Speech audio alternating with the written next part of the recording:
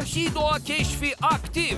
Amazon ormanları, Karayipler, Sonora çölü hiç fark etmez. Chris ve Martin durdurak bilmez. Kret kardeşler her gün 8.30 ve 15'te Minika Go'da.